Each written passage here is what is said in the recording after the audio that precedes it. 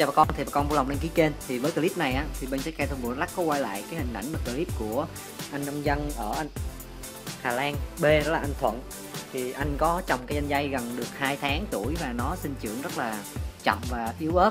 Thì với clip này á, thì mình cho kỹ thuật hướng dẫn và tư vấn đo độ pH đất và kiểm tra tình hình dinh dưỡng đất và một số mầm bệnh ở trên cây chanh dây anh.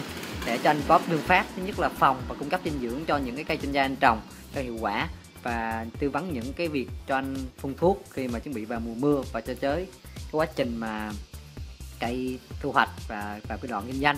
Thì với cái việc mà kiểm tra như thế này các bạn xem á thì tiến hành đo bởi pH đất thì đất của anh cũng chuẩn rồi. Thì đất này anh trồng vừa phát cà phê xong á là anh trồng luôn.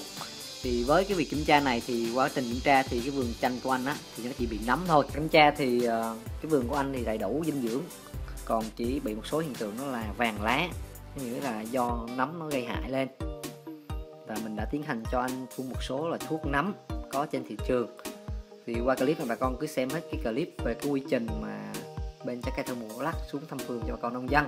Thì toàn bộ đây là 200 giây chanh dây anh Thuận ở Hà Lan B, Đắk Lắk.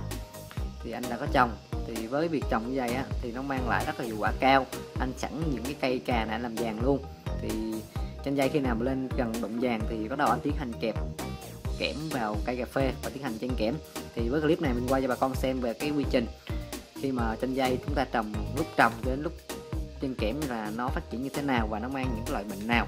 Thì bà con vui lòng đăng ký kênh và theo dõi những cái video bên trái cây thơm mùa lắc và những cái chanh dây để chúng ta biết mà phòng bệnh. Thì cũng gần tới mùa mưa rồi, mình khuyên cho bà con là nên mua những loại thuốc để phòng bệnh, những loại côn trùng kích thuốc bệnh phấn trắng nấm gây hại ở trên lá của cây chanh dây và một số loại thuốc để phòng bệnh lở cô rễ trên cây chanh dây. Xin cảm ơn bà con đã quan tâm và theo dõi clip này.